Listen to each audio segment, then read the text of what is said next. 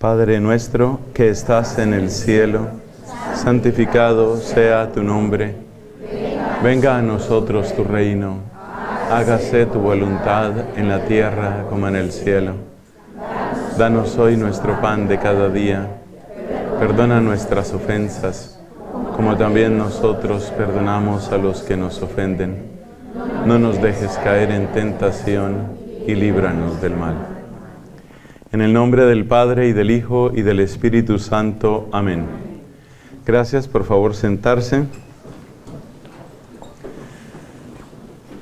Mis hermanos, estamos haciendo el recorrido que nos conduce a amar a la iglesia. Por lo visto, esto no es tan fácil. No es tan fácil amar a la iglesia, si hay que hacer todo este camino. Pero la culpa no es de Dios. Con seguridad, la culpa no es de Dios. Más bien lo que suele suceder es que cada uno de nosotros vive muy centrado en sus necesidades, en sus gustos, en sus preferencias. Y como cada uno está centrado en sí, quiere decir que nos cuesta trabajo salir de nosotros mismos. Uno de los lemas más repetidos por el Papa Francisco es que aprendamos a hacer iglesia en salida. Esa insistencia del Papa en que seamos gente y creyentes en salida, pues tiene un motivo y es que muchas veces estamos metidos únicamente en nosotros. Y esos distintos niveles de egoísmo se manifiestan de maneras a veces bastante, llamémoslas, aceptables en la sociedad. A veces la familia se convierte como como en un grupo cerrado, somos aquí nosotros. Y si hay vecinos, si no hay vecinos, ¿con quién vivo? Mucha gente está en, lo que aquí llamáis pisos, en sus apartamentos, en sus pisos. ¿Quién está arriba? ¿Quién está abajo? ¿A la derecha, a la izquierda, al frente, atrás? No sé, no, sé y la verdad no me importa mucho. Mientras no se metan conmigo, mientras yo no me meta con ellos, no pasa nada. Entonces, mm, vivimos en, una... Eh, en una situación de encierro voluntario, en una, en una situación de prisión voluntaria. Ese es solo un ejemplo. Otro ejemplo.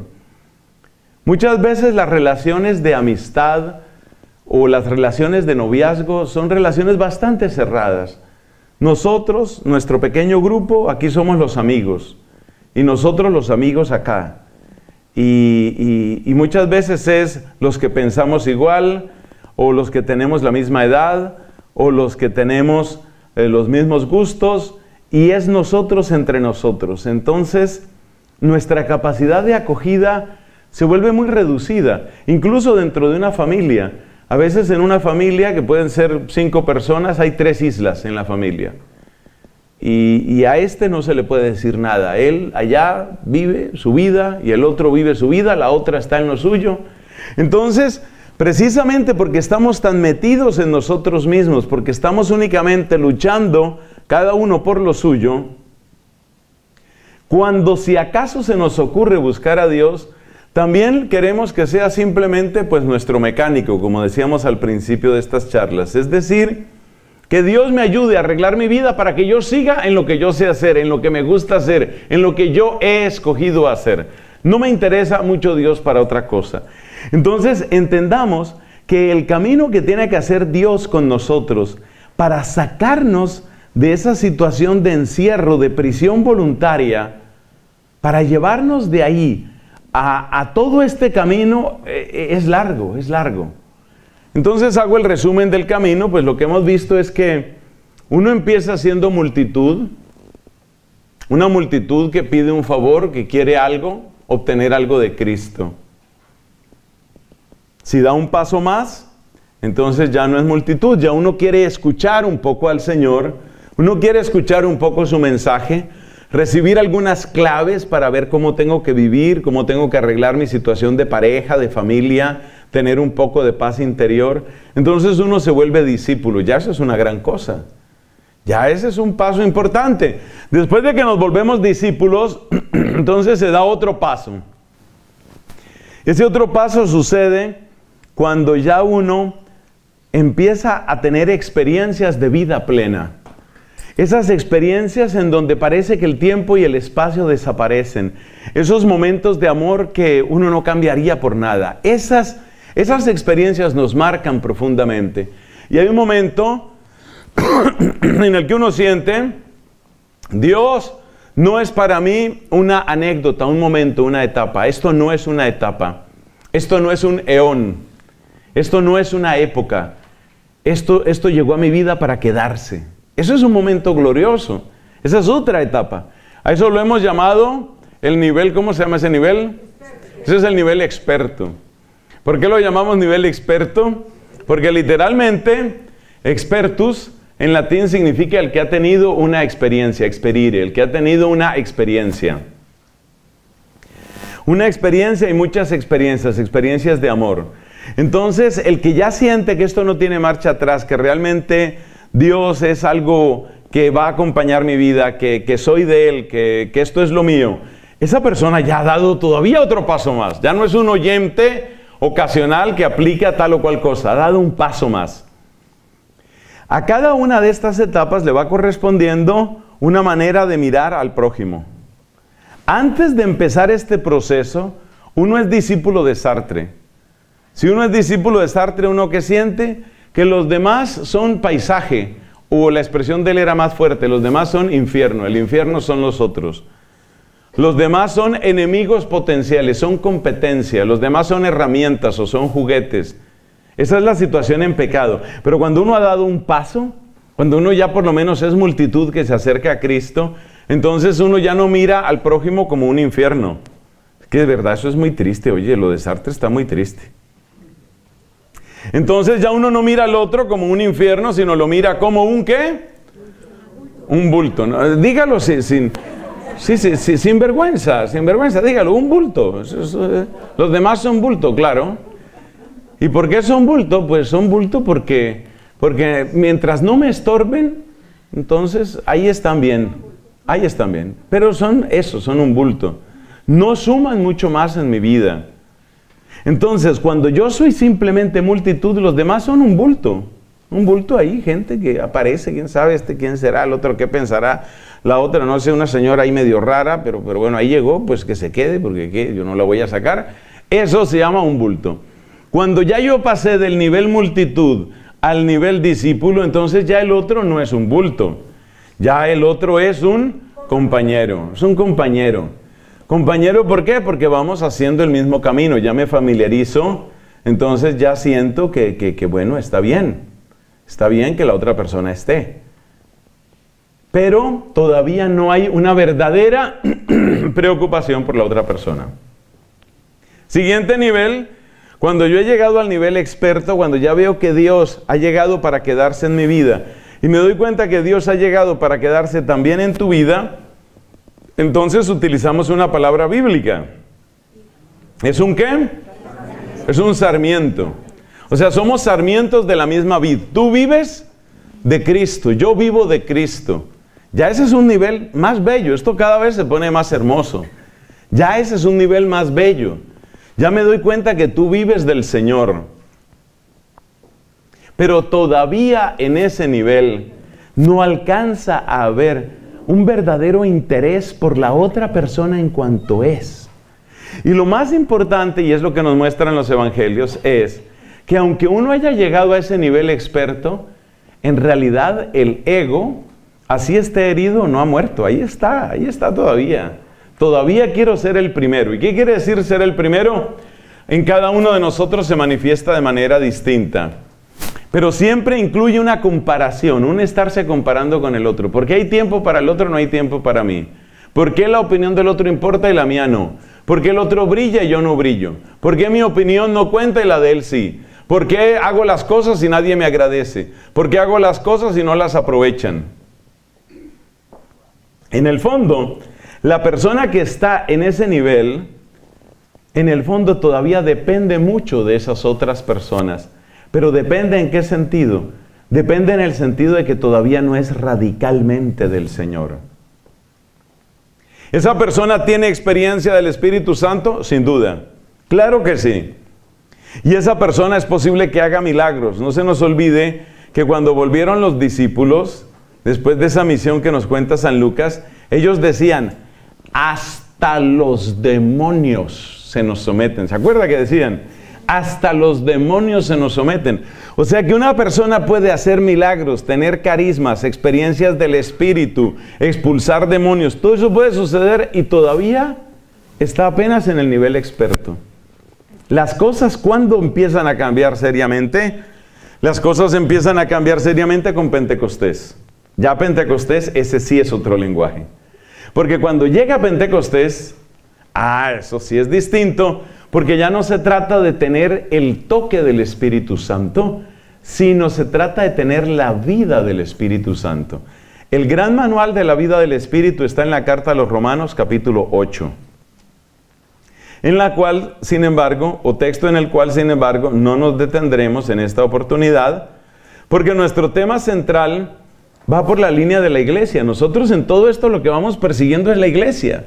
Lo que vamos persiguiendo es el lugar de la iglesia, porque de lo que se trata es de amar hoy a esta iglesia con las tensiones que tiene, con los problemas que tiene, con las confusiones que tiene. Ya hay demasiada gente desgarrando a la iglesia. Ya hay demasiada gente rompiendo cada uno para su lado. Nosotros queremos llegar a conocer y amar la iglesia desde esta perspectiva profundamente bíblica, profundamente carismática y patrística. Eso es lo que queremos, ese es el camino en el que vamos. Entonces, ¿qué sucede cuando llega el don del Espíritu? Estamos prácticamente resumiendo las charlas anteriores para actualizarnos los que estamos aquí y para beneficio de los que se integraron recientemente. Entonces, ¿qué es lo que hace el Espíritu? Pues el Espíritu el Espíritu me da una sobreabundancia de amor, una sobredosis de amor. Esa sobredosis de amor me hace exclamar Abba, me hace exclamar papá, me hace reconocerme hijo. Y entonces pasan varias cosas maravillosas de las cuales me parece que enumeramos tres. La primera cosa maravillosa es que ya no tengo que buscar ser el primero. ¿Por qué ya no busco ser el primero? Porque aprendí que soy único. Esa experiencia del Espíritu, ese sentirme único, único, ese sentirme así para Dios, para el Dios eterno, y eso significa para toda la vida y más allá de la muerte, ese sentirme así me libera de la búsqueda de ser el primero. Porque en ese buscar ser el primero en todo, y ser o el que más gana, o al que más quieren, o al que más aplauden, o el que más goza, o el que más triunfa, ese ser el primero, era un reemplazo. ¿Un reemplazo de qué? Un reemplazo pobre del único amor que podría saciarme. El único amor que puede saciarme es el amor del Señor. Por eso decimos con San Agustín, nos hiciste, Señor, para ti. Nuestro corazón está inquieto hasta que descanse en ti. Entonces, mis hermanos, lo primero que nos da el Espíritu es esa sobreabundancia de amor. Y por eso uno no madura si no es con la acción del Espíritu. Solo el Espíritu es el que nos hace madurar. Y cuanto más pidamos la gracia del Espíritu y nos abramos al don del Espíritu, más madurez, más crecimiento. Una vez que el Espíritu va haciendo estas maravillas en nosotros, viene un segundo momento que es la libertad. Y ahí hicimos una pequeña explicación sobre el tema de la libertad. Resulta que hay una definición de libertad que le fascina al demonio, porque es la que le permite manipular a todos, muy especialmente a nuestros jóvenes. Y esa definición de libertad es a mí que me dejen hacer lo que se me da la gana, que nadie se meta conmigo, que no me pongan límites. Y por supuesto, apenas tú sueltas esas palabras, el demonio siente, con este puedo hacer pacto. Porque apenas tú dices, libertad es que me dejen hacer lo que se me da la gana, entonces ya el demonio sabe por dónde te va a manejar. Te va a manejar por las ganas. Y si en esta tierra hay gente que sabe manejar las ganas, y eso se llama la gente del marketing, los del marketing son los que logran que tú te pongas exactamente el color de ropa que ellos quieren, que tú cambies tu cabello como ellos quieren, que tú te hagas el tatuaje que está de moda o que te hagas tatuajes, que tú perfores tu piel con el piercing, eso lo logra, todo eso es, todo eso es marketing. Eso lo logra. Ya cuando uno tiene la edad mía, yo voy llegando a los 55, Cuando uno tiene la edad mía, ya uno ha visto un recorrido. Entonces yo veo, por ejemplo, en mi país, cómo mi país lo van cambiando. Yo soy colombiano, ¿no? Como sabéis.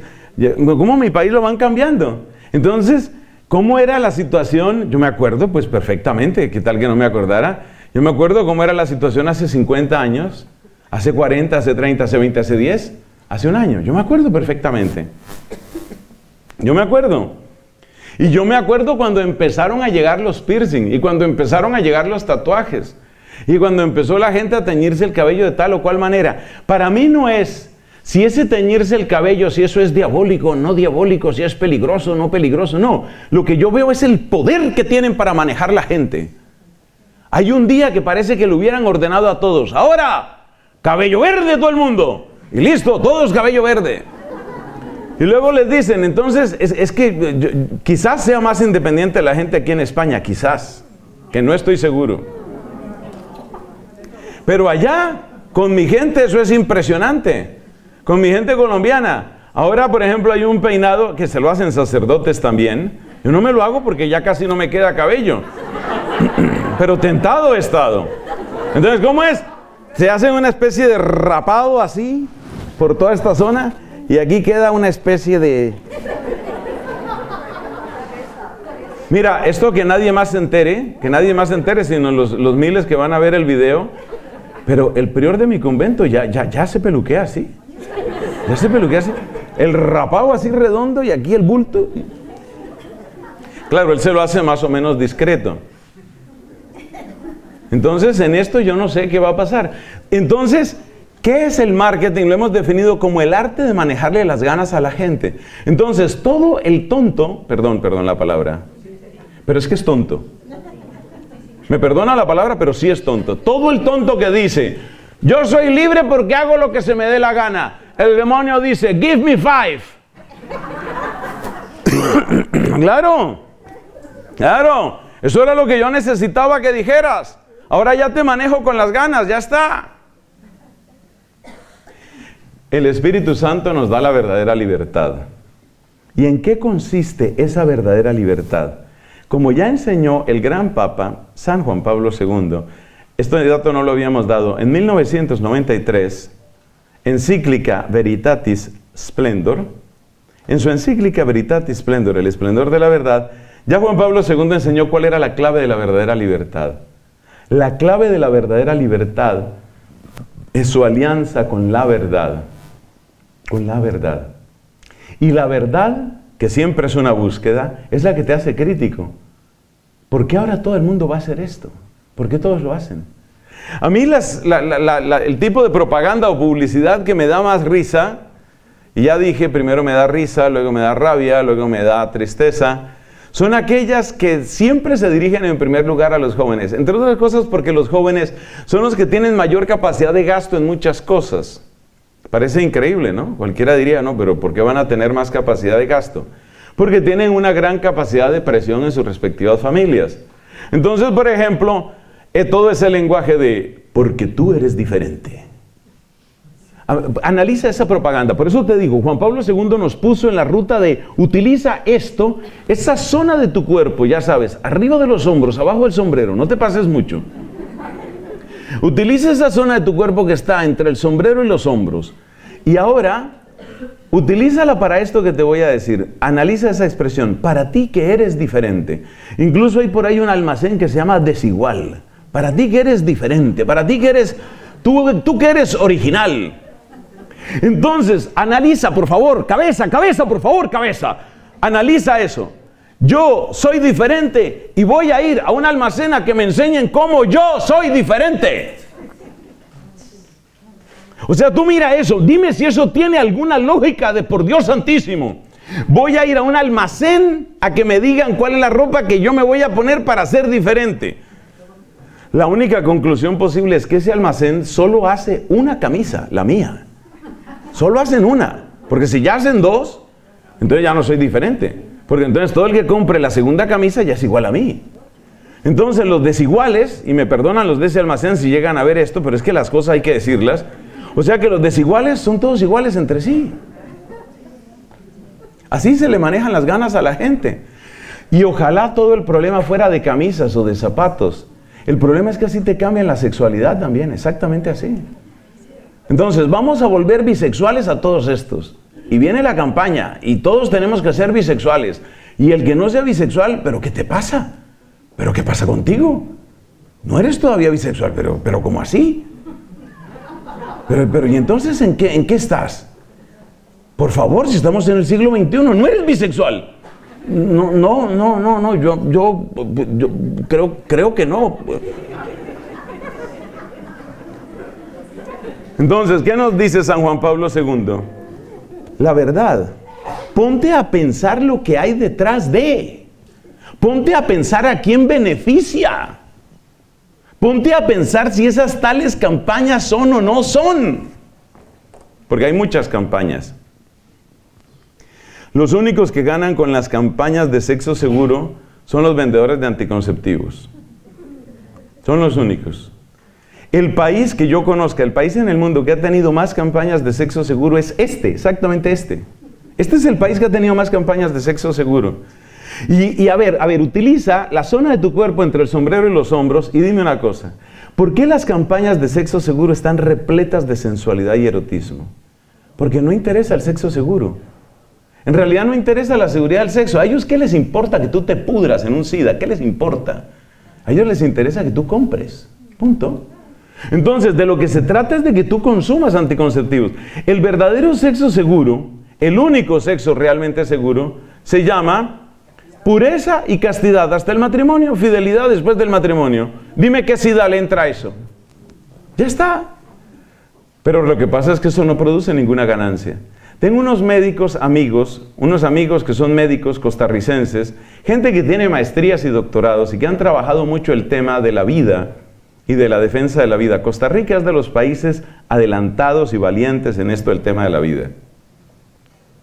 Y mis amigos costarricenses fueron a los Estados Unidos de América a un congreso de medicina sobre este tema de planificación familiar y todo aquello. Y ellos presentaron las cifras de los métodos naturales bien explicados y bien vividos. Es una maravilla lo de los métodos naturales. ¿Sabes cuál fue la única pregunta que les hicieron aquellos norteamericanos de las grandes empresas que son las que auspician todos estos congresos? ¿Sabes cuál fue la pregunta que les, les hicieron? La única pregunta es, ¿and where's the profit? ¿Dónde está la ganancia en eso? O sea, si tú eres casto con tu novia y luego eres fiel con tu esposa, ¿dónde está el dinero?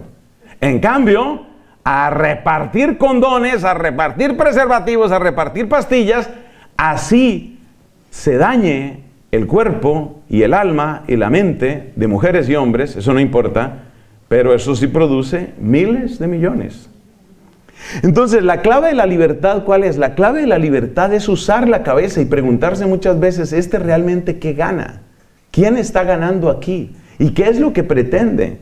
Hacen una campaña de sexo seguro y en la campaña de sexo seguro todo es la sensualidad. Y esos, me acuerdo las campañas esas que además son medio vulgares, ¿no? Póntelo, pónselo, ¿no? esas campañas que son la invitación a qué? A, reviéntate de sexo, reviéntate de placer. ¿Para qué eso? ¿Para qué eso? Para que alguien gane. Entonces, si tú empiezas a utilizar la cabeza, tú empiezas a ser libre. Pero ya hemos explicado también en otra de las predicaciones que el problema está en que la cabeza humana va detrás de los afectos humanos. Muchas veces la cabeza simplemente sirve para justificar lo que ya escogió el corazón. Por eso necesitamos la fuerza del Espíritu Santo. Y sin la fuerza del Espíritu Santo es muy difícil esto. Porque si no cambia tu corazón, si tu corazón no para la fábrica de ídolos, que hoy será la marihuana o el porro, como lo llames, que después será el licor, que después será el número de orgasmos, que después será el número de parejas, que después será lo que sea, si tú no paras la fábrica de ídolos, no para el cerebro de maquinar las justificaciones. Entonces, cuando llega el don del Espíritu Santo, la fábrica de ídolos para. Para. Y toda esa varaunda de ídolos y pachamamas, lo dije, toda esa varaunda de ídolos y pachamamas sale. Y cuando sale toda esa varaunda, cuando sale todo eso, cuando se despeja tu corazón y cuando empieza a reinar Cristo, empiezas a ser libre. Y un día te das cuenta que puedes caminar, por ejemplo, por un supermercado, me encanta la expresión de aquí, por una de esas grandes superficies. Y sí que es verdad que son grandes, son grandes. Tú empiezas a caminar por las grandes superficies y empiezas a mirar todo eso y ya tienes otros ojos. Y ya tú miras cómo te están tratando de lanzar todo tipo de redes y lazos a ver si te atrapan. Y ya dices, no, no, es que conmigo no pueden. Y todo es que compres aquí, que gastes acá, que disfrutes allá. No, no, no, no pueden. Y empiezas a disfrutar tu libertad. Eso te da el Espíritu. Pero lo tercero que te da el Espíritu es que te hace reconocer miembro de Cristo. Y en el momento en el que tú reconoces que eres parte del cuerpo de Cristo y reconoces que tus hermanos son parte del cuerpo de Cristo y que todos somos cuerpo de Cristo, cuando tú empiezas a reconocer eso, entonces empiezas a reconocer que necesitas a tu hermano, que te hace bien tu hermano, que te hace falta tu hermano. Un día empiezas a descubrir que tú eres coheredero. Y hasta ahí vamos. Hasta ahí vamos. ¿Qué significa ser coheredero? Significa que la herencia de Cristo es la misma mía, que la relación que Él tuvo con el Padre es la misma mía, que el Espíritu que movió a Cristo es el que me mueve a mí, que la sabiduría de Cristo va entrando a mi vida, que los sentimientos de Cristo, Filipenses capítulo 2 versículo 5, nunca olvidar ese texto, esos sentimientos de Cristo se me van metiendo, van entrando en mi vida. Van entrando en mi vida los sentimientos de Cristo, los pensamientos de Cristo. San Pablo dice en 1 Corintios capítulo 1, nosotros tenemos el pensamiento de Cristo. El pensamiento de Cristo se me ha entrado en la vida. Los sentimientos de Cristo se han entrado en mi vida. Cuando Cristo va entrando con la fuerza de sus prioridades, opciones, pensamientos y sentimientos en mi vida, entonces, ¿qué sucede? Sucede que ahora, ahora, ya yo empiezo a ser verdad, en verdad, criatura nueva. Ya soy criatura nueva. Empiezo a ser una nueva criatura. Empieza esa realidad que San Pablo llama el hombre nuevo. El hombre nuevo. Que ya no está libre, que ya no está atado por la falsa libertad. La falsa libertad es yo hago lo que se me dé la gana. Esa es la falsa libertad. Ya no está atado por la falsa libertad, ha sido desatado por la verdadera libertad. Llegó a hijo, empieza a vivir como hijo. Entonces, ¿cuál es el prójimo? Acuérdate que esto va así paralelo, ¿no? Este es nuestro audiovisual. Hay que estar siempre atento a aquel audiovisual. Multitud, discípulo, experto, hijo. No está funcionando mucho, no está funcionando mucho el audiovisual. Uno empieza siendo multitud, después pasa a ser discípulo, después pasa a ser experto y luego llega a ser hijo. No es tan fácil lo de sentirse, lo, de sentirse de verdad hijo. Porque uno en el catecismo lo oye. Uno lo oye. Y ahora para el prójimo, ¿cómo es? Entonces, cuando era multitud, el prójimo era bulto. Cuando yo soy discípulo, el prójimo es compañero. Cuando yo llego a ser experto, porque hay esas experiencias del amor de Dios, entonces el prójimo es sarmiento. Y cuando yo llego a ser hijo, entonces ahora sí el prójimo es hermano. Ese es el camino. Ese es el camino. Allá estamos muy adelantados. Muy adelantados. Pero ahora viene Efesios capítulo 5. En Efesios capítulo 5 encontramos que Pablo hace una comparación entre el amor que le tiene el esposo a la esposa y el amor que tiene Cristo por nosotros. El amor que tiene Cristo por la iglesia. La frase clave, la frase clave es, Cristo amó a la iglesia y se entregó por ella. Mira, cuando uno ha llegado a ese nivel que hemos llamado hijo, en cierto sentido ya llegó. Es decir, eso es como lo máximo, en cierto sentido. Pero sí hay algo más. Porque yo puedo quedarme en que yo soy hijo, tengo mis hermanos, nosotros somos la familia de Dios, nosotros somos hombres nuevos, mujeres nuevas, renovados en el espíritu. Yo podría quedarme ahí. Pero viene esta pregunta. ¿Y lo que Cristo ama? ¿Y el amor de Él? ¿Y el dolor de Él? ¿Y el proyecto de Él? Entonces podemos decir que ya es mucho que tú llegues a ese nivel de hijo en el cual ya no eres esclavo de buscar primeros puestos, ya no eres esclavo de la falsa libertad, ya te reconoces miembro del cuerpo de Cristo, ya eso es muchísimo, ya tu prójimo es tu hermano y te importa, ya eso es muchísimo. Pero solamente dentro de ese nivel es posible llegar a preguntarse otras cosas, como cuáles. Y Cristo, lo que Él quiere, y su proyecto, y su dolor, y su amor. Esa pregunta por Cristo, esa pregunta sublime por Cristo, trae un nivel superior. Es un nivel de identificación con Cristo. Ya no es solamente que su pensamiento ha impregnado, ha penetrado en mi pensamiento, sus sentimientos han entrado y penetrado en los míos. Ya no es solamente eso, no. Ahora es que yo me pregunto por Él. Ese tipo de preguntas típicamente son las que se hacen los mejores amigos con respecto a sus amigos. Y esas son las preguntas que típicamente se hacen los esposos entre sí. Y por eso nos impacta tanto lo de San Pablo, que el Cristo ama a la iglesia como a su esposa. Entonces, en ese mismo nivel, en ese nivel de hijo, el corazón, como si se volviera un diamante que tiene distintas facetas, brilla de distintos modos. Ya estamos en ese nivel que en cierto sentido es el nivel máximo. Pero en ese nivel máximo hay como distintas facetas que brillan en distintos momentos.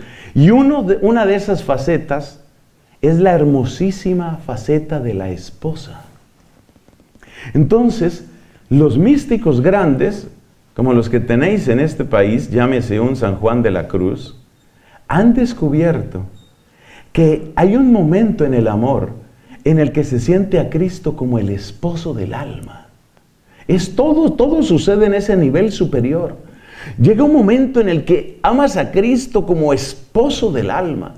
Es decir, te preocupa no solamente que tú estés bien o que tú triunfes sobre el pecado o que tú tienes hermanos, es que es que el proyecto de él te interesa. Es como como una especie de reflejo de todo lo que Él me ha dado. De Él he recibido tanto, pero tanto. Y ese Cristo se hace tan cercano y tan vivo en mí que llega el momento en el que yo me pregunto por Él. Que yo me pregunto por Él. A ver, tratemos un par de comparaciones a ver si esto se, se logra hacer un poco más comprensible. Piensa en que tú vas donde el médico. Cuando tú vas donde el médico, a ti no te interesa mucho cómo está el médico. A ti te interesa cómo estás tú. Eso es lo que a ti te interesa. Si tú llegas donde el médico y lo ves así como distraído, y el médico te dice, mire, usted perdone, pero es que he tenido un duelo hace poco en mi familia y estoy un poco ido. No, no, no, no se preocupe, doctor, pero ¿quién más podría atenderme? O sea, tú estás en ti, tú estás centrado en ti. Pero si tú vas donde el médico y pasa el tiempo, llega un momento en el que ya no solo es tu médico, probablemente, probablemente es incluso como un amigo. Y si ya llegó el momento en el que es como un amigo ese médico, y un día tú lo ves mal, aunque tú vayas a una consulta regular, si ya realmente, pero de verdad es tu amigo, tú le vas a preguntar, doctor, usted perdone, le pasa algo. Ya te atreves a preguntarle por él. Porque ya tú mismo has hecho todo un camino de sanación, de reconstrucción, de restauración. Entonces ya llega el momento en el que como un reflejo de todo lo que te ha dado ese médico, tú preguntas por él. Otro ejemplo, padres e hijos. En principio, los hijos, pequeños o medianos, en su crecimiento psicológico, solo se preocupan de ellos. Una señal de madurez de un hijo es que un día ve un poco mal a la mamá. Y esto sucede muy pocas veces hoy para tristeza mía. Que el hijo se interese así por la mamá hasta el punto de preguntarle, mamá, ¿necesitas algo? Porque es que casi siempre el hijo lo que pregunta o la hija lo que pregunta es por ella. Mamá, necesito esto, quiero esto, voy a hacer esto, me ayudas en esto. O sea, se está girando en torno a sí misma o hasta en torno a sí mismo. Pero un hijo que crece y que madura, hay un momento en el que también le pregunta a la mamá, mamá, ¿estás bien? Te veo como, como un poco mal, como decaída. ¿Te puedo ayudar en algo? Es un momento muy bonito para un papá, para una mamá. Yo digo, una mamá que ha entregado toda su vida o una gran parte de ella por su hijo, que un día el hijo le pregunte eso, eso la llena de alegría. O sea, mi hijo se interesó por mí. Eso es muy bonito. Algo parecido es lo que sucede con Cristo. ¿Cómo empezó toda esta historia? Con el ejemplo del mecánico. Y el ejemplo del mecánico muestra que yo estoy centrado en mí y en recibir yo y en que se arregle mi problema. Pero créeme, después de mucho tiempo de estar con Cristo, hay un momento en el que tú, de tanto que has recibido, te vuelves hacia Él. Y entonces le preguntas, ¿y tú cómo estás? ¿Y tú cómo estás? Me has dado tanto, Jesús. Me has dado tanto amor. Me has dado tanta bondad, tanta belleza, tanta sanación. ¿Y tú cómo estás? La Biblia nos cuenta que cuando Jesús estaba a punto de padecer, dijo a sus apóstoles esta frase que está en el Evangelio según San Juan, capítulo 16. Yo tendría muchas más cosas para deciros, pero no podéis ahora con ellos. Eso dijo Jesús. Y claro, si uno ama a Jesucristo, uno se pregunta, ¿cuánto se le quedó por decir? ¿Cuánto se le quedó por decir? Porque Cristo era el que resolvía todo. Cristo era el que acogía a todos. Cristo era el descanso para todos. Cristo era la fuente de vida para todos. Podemos decir que hay un momento en la vida cristiana en el que uno llega al punto de preguntar, ¿y tú qué? ¿Y tú cómo estás? Ese momento en el que uno empieza a preguntarse por los intereses de Cristo ese es el momento en el que uno empieza de verdad a amar a la iglesia. Porque su amor es la iglesia. Amó a la iglesia y se entregó por ella. Ese es el momento. O sea que uno tiene que hacer todo este recorrido para de verdad amar a la iglesia. Hay que hacer todo este recorrido hasta llegar a ese punto y entonces Jesús te habla de su amor. Como ese médico, tú nunca le preguntabas al médico él cómo está. Realmente no sabes ni te interesa mucho si es casado, soltero, si tiene problemas, si tiene deudas, si él mismo está enfermo, eso no te preocupa a ti. Pero cuando pasa el tiempo y cuando de verdad llega a ser tu amigo, quizás hay un momento en el que tú sí te preguntas, doctor, ¿y usted cómo está? Pues mira, ya que me lo preguntas, y, él, y ahí habla él. Entonces, la pregunta que yo te hago en este momento, querido hermano, es, ¿a ti te gustaría ser confidente de Cristo? Confidente de Cristo.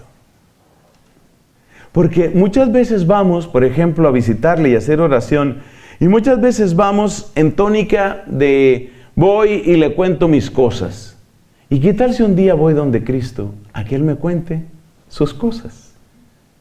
¿De qué me hablará Él?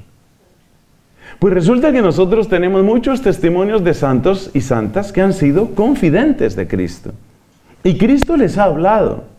Y Cristo les ha mostrado, sobre todo, esa bendita devoción que está cumpliendo de un modo particular 100 años en España. ¿De qué estoy hablando? Del Sagrado Corazón.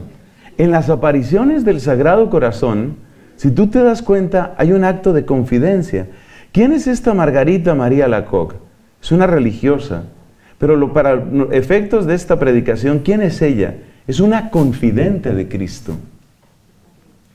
Es una mujer que ha hecho este camino, que ya no es multitud, que ya no es simplemente discípula, que ya no es simplemente experta, que ha llegado al nivel hija y que en ese nivel hija su corazón ha estado tan abierto a Jesús que en cierto modo le ha preguntado, ¿y tú qué? Y Jesús ha abierto su corazón. Y un día Jesús, porque ella le dio el espacio, un día Jesús le muestra su corazón y le dice, mira este corazón que tanto ha amado a los hombres y que de ellos solo ha recibido ingratitud. Ese es Jesús, vamos a decirlo de una manera muy humana, desahogándose. ¿Con quién se desahoga Jesús? Con los corazones que tienen tiempo y ganas de oírle. Y tú puedes ser uno de esos corazones. Ese es el nivel de madurez. ¿Y sabes de qué te va a hablar Jesús? Jesús te va a hablar del amor de su alma. Y el amor de su alma es uno solo, es uno solo unido. Y ese corazón de Cristo ama un solo amor. Y ese amor de Dios es Dios Padre. Pero la gloria del Padre en su creación se llama la iglesia. La gloria del Padre en la eternidad, esa está fuera de duda, eso no tiene problema, esa es la bienaventuranza. La gloria del Padre en la eternidad y en el desde siempre de Dios, esa no tiene problema. Pero la gloria del Padre en esta creación se llama la iglesia. Dios no tiene otro proyecto para la creación. El proyecto de Dios para la creación se llama la iglesia. Si tú miras las visiones de la iglesia en el Apocalipsis, te das cuenta que es indistinguible la iglesia como número de los elegidos y la iglesia como universo reconciliado. Son indistinguibles, es lo mismo. Entonces viene una frase que es impactante y la frase es, el proyecto de Dios para la creación se llama la iglesia. Ese es el proyecto de Dios. Y entonces cuando una mujer como Margarita María Lacoque se abre al amor de Dios y cuando se convierte en confidente de Cristo, Cristo le habla del único amor que tiene. Su único amor es Dios Padre. Y en ese amor único de Dios Padre es inseparable la gloria eterna y la gloria creada. Y la gloria eterna, pues es lo que Dios es desde siempre, y eso está fuera de discusión. Pero la gloria de Dios en la creación se llama la iglesia. Y por eso Dios Dios Hijo le habla a Margarita María y le habla de la iglesia. Entonces, pregunta y su respectiva respuesta. La pregunta cuál es? La pregunta es, ¿desde qué ángulo aprende uno a mirar y amar a la iglesia? ¿Cuál es el ángulo apropiado para ver y amar la iglesia? Y ese ángulo es los ojos de Jesús. Ese es el ángulo. Para ver y amar la iglesia, los ojos de Jesús.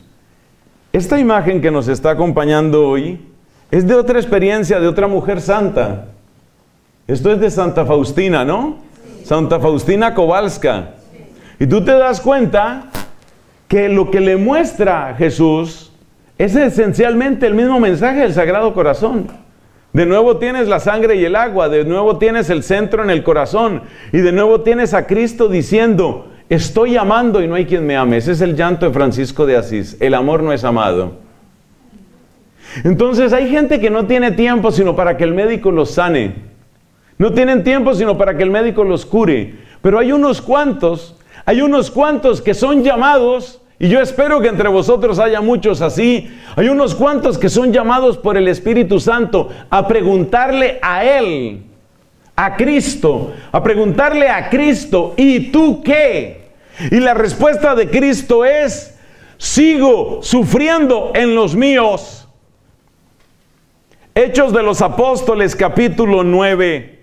¿Qué le dice Jesucristo al apóstol Pablo en el momento de su conversión? Pablo pregunta, ¿quién eres? Y él responde, yo soy Jesús a quien tú persigues, a quien tú persigues. Cristo sufre en los suyos. Entonces, si tú te arriesgas a ser de los confidentes de Cristo, si tú te arriesgas a ser de los íntimos de Cristo, si tú quieres ser alguno de aquellos que han escuchado lo que Él no pudo decir a los apóstoles, tengo mucho más que deciros, pero no podéis ahora con ello. Entonces, os voy a confesar algo. Yo quiero ser de esos. Yo, yo quiero ser de esos. Yo quiero ser de esos que le oyen a Cristo lo que Él no pudo decir. Yo quiero oírle a Él lo que nadie tuvo tiempo ni ganas para oírle. Porque la gente está metida en lo suyo.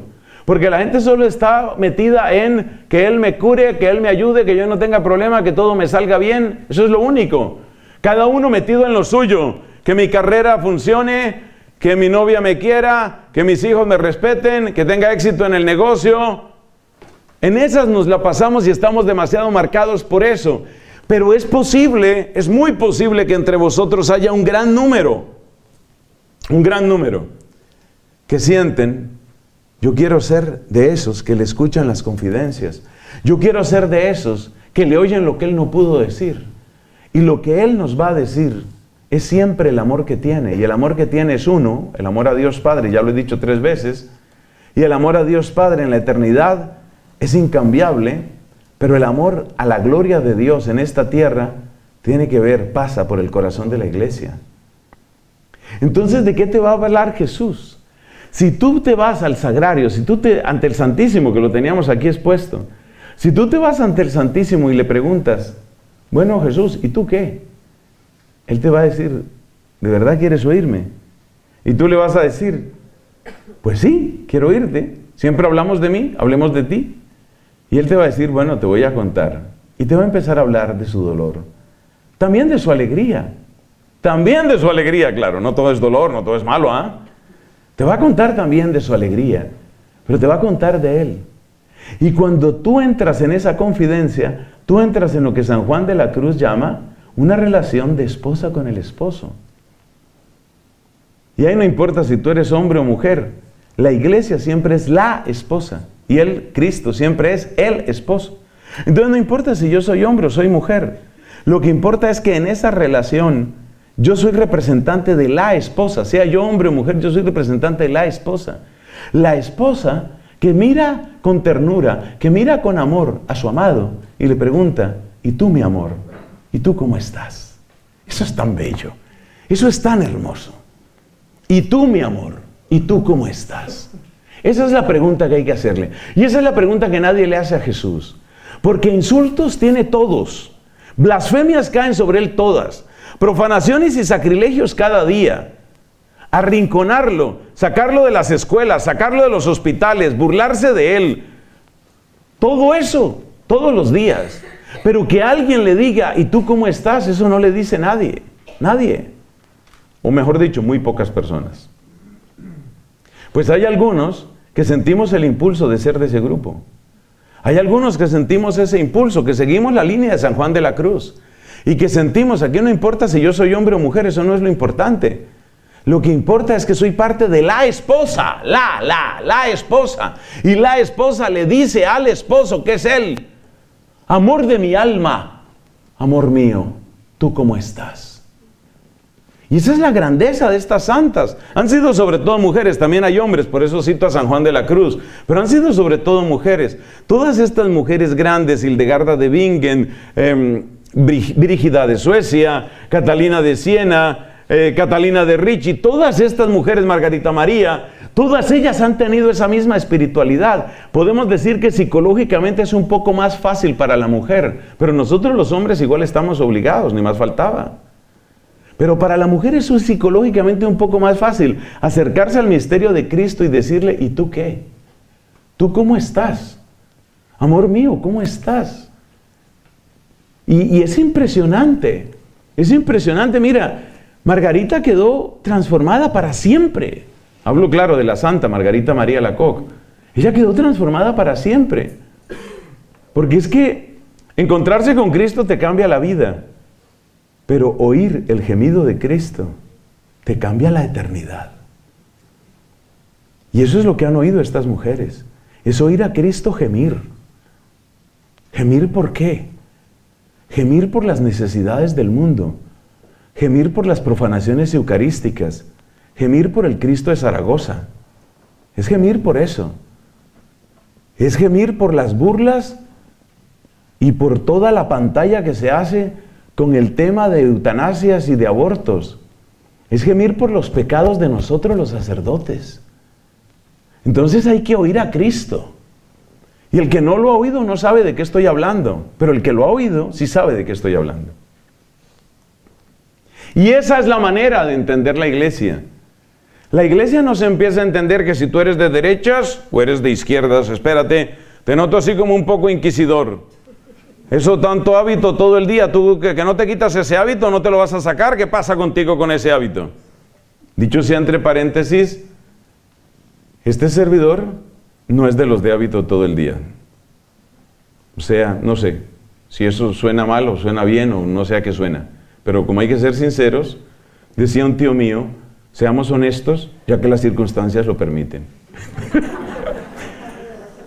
Pero en todo caso yo soy feliz con mi hábito y entonces uno siempre será sospechoso. Yo siempre seré sospechoso eh, y esto de las redes sociales sí que sirve para eso. Cualquier opinión controvertida, medio controvertida que uno ponga, ya viene el alud de insultos. Ya más o menos me los he aprendido así, ya los puedo recitar pronto. Homófobo, inquisidor, pederasta, medieval, dinosaurio. Por ahí empieza. Los demás son impublicables y después me veta YouTube. No nos deja publicar el video. Entonces, por ahí empiezan, por ahí empiezan los insultos. Mira, nosotros, nosotros, sacerdotes, no por lo que nos hacen, sino por los pecados de nosotros, somos la herida más dolorosa del corazón de Jesús. O sea que hay que rezar mucho por los sacerdotes para que seamos escuchados, acogidos, educados, pero sobre todo por nosotros, por nuestra conversión, la nuestra. Porque lo que más le duele a Cristo es la cobardía y la incredulidad y la indiferencia y la frialdad de nosotros, nosotros los sacerdotes. Es impresionante la frialdad. Por algo dijo el Papa Benedicto cuando inauguró el año de la fe, por algo dijo, no toméis la fe por garantizada. ¿Qué quiere decir eso? Por algo lo dijo. No se puede dar por descontada la fe, ¿no? Y hay demasiados sacerdotes que se encuentran en una situación de una frialdad que realmente equivale para todos los términos prácticos, equivale por completo a verdadera incredulidad, a verdadera incredulidad. Entonces, ¿cuál es el ángulo? Hemos hecho todo este recorrido, estamos terminando la tercera predicación, y hemos hecho todo este recorrido solamente para llegar al ángulo. El ángulo, oye, oye bien, el ángulo desde el que hay que mirar a la iglesia. Porque si tú no la miras desde este ángulo, entonces te vas a quedar en que hay unos que son los tradicionalistas, que van contra los progresistas, y la derecha contra la izquierda, y Rouco contra todo el mundo. Porque, porque esas historias yo me las conozco muy bien. Eso yo me lo conozco muy bien. ¿eh? Rouco contra todos y todos contra Rouco y bueno, no sé cuántas cosas. Y entonces, y entonces, esa mirada, esa mirada puramente política y puramente humana, no hace sino desgarrar más a la iglesia. ¿Qué hemos logrado con tres predicaciones? Si Dios, si Dios está complacido con estas predicaciones, lo que hemos logrado es el ángulo para mirar a la iglesia. ¿Desde qué ángulo hay que mirar a la iglesia? desde el ángulo de los ojos de Él. El día que yo empiece a mirar a la iglesia como Él la mira, estoy viendo a la iglesia de Él. Si no la miro como Él la mira, estoy mirando otra cosa. Estoy mirando lo que crearon los periodistas. Estoy mirando lo que crearon los que tienen sus propios intereses. El único ángulo para ver a la iglesia es el ángulo desde los ojos de Él. Y desde esos ojos solo le puede ver aquel o aquella que se atreve a preguntarle muchas veces al Señor, ¿y tú qué? ¿Tú cómo estás? Y si tú te dispones a preguntarle eso, pues entras en unas dimensiones de amor impresionantes. Impresionantes. Porque solo te digo esto y, ya con eso terminamos por ahora. Solo te digo esto. Cuando yo hablo, por ejemplo, contigo, o cuando hablo allá contigo, y tú me cuentas cómo estás tú, pues me vas a contar alegrías que son del tamaño tuyo, y tristezas o preocupaciones o preguntas que son de tu tamaño, ¿cierto? Si yo hablo con una mamá de qué tamaño van a ser sus alegrías, mira que mi hijo entonces aceptó ir al retiro. Vieras la cara que me hizo, pero bueno, al fin aceptó. Entonces estoy feliz porque mi hijo aceptó ir al retiro. Esas son las alegrías de las mamás. Y la preocupación de la mamá, que el hijo está enfermo, que el hijo eh, está mal casado o no se casó, que el hijo se alejó de Dios, si es una mamá piadosa. Esa es la escala de los dolores de una mamá típica. Y si hablo con un papá o si hablo con un amigo, me va a contar sus problemas que son también de su tamaño. El tema es que cuando te acercas a Cristo, Él también te cuenta sus cosas, pero las cosas de Él ya verás de qué tamaño son. Ya verás de qué tamaño son. Por eso, muchos de estos santos y santas han sentido que se mueren, que se mueren. Porque es que a Jesús al mismo tiempo le interesa todo, le alegra todo lo bueno, y le duele todo lo malo, pero es todo. Entonces cuando tú empiezas a oír a Cristo y Cristo te habla de lo que le están haciendo a los cristianos en el norte de Irak y cómo los están expulsando de todas partes, el otro día me contaba un padre lo que está pasando en Belén, Belén de Palestina. Les están haciendo la vida imposible a los pocos cristianos que quedan ahí. Yo no estoy justificando el maltrato a los palestinos, pero es que los palestinos también maltratan. Y su blanco preferido para maltratar son los cristianos. Y es que quieren sacar hasta el último cristiano de Belén. Entonces a Cristo le duele eso. Y lo que está pasando en el norte de Nigeria le preocupa a Cristo. Y eso le parte el alma a Cristo. Y los abusos de los sacerdotes desgarran y revientan el corazón de Jesús. Esos son los dolores de Cristo. Y la teología mal enseñada revienta el corazón de Jesús. Y las familias que dan la espalda.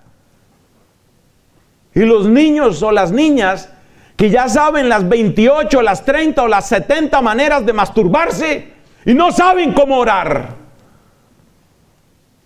Eso, eso le parte el alma a Cristo. Y eso hay que oírselo. Eso hay que oírselo. Y hay que sentir ese dolor. Eso, eso es empezar a amar a la iglesia. Y ver que no hay vocaciones. Mis hermanos, este que les habla es un pecador, por supuesto. Pero yo creo que yo conozco una chispa de ese amor. Yo lo viví en Corea. Estuve predicando en Corea del Sur. Corea del Sur es el país donde está creciendo más la Iglesia Católica. Me recibió el prior de los dominicos y me hospedé con ellos en Seúl. Después fui a unas montañas donde está el monasterio de las Madres Dominicas. Estuve predicando allá con ellas. Pero de quien quiero hablar es de este prior, un hombre relativamente joven. No tiene 40 años. Mira, yo miraba la vida de este hombre. Verlo verlo reventado de trabajo, ver que no hay por dónde. Este celular que tengo, pues es un Samsung. Este celular, pues es surcoreano, ¿no? De allá es esto. Son unos genios para la tecnología, son unos genios para los barcos, son unos genios para los sistemas. No hay quien sirva a Cristo. O mejor dicho, lo más grave no es eso, lo más grave es que hay cantidad de gente pidiendo sacerdotes. Yo he venido muchas veces a España, muchas veces a Europa, he recorrido toda América, he estado en varios puntos de Asia, pero quiero contarte de los pocos lugares donde yo he sentido, mejor yo me quedo aquí, ya no vuelvo a ninguna parte, es Corea del Sur. La necesidad de sacerdotes en Corea del Sur te hace llorar.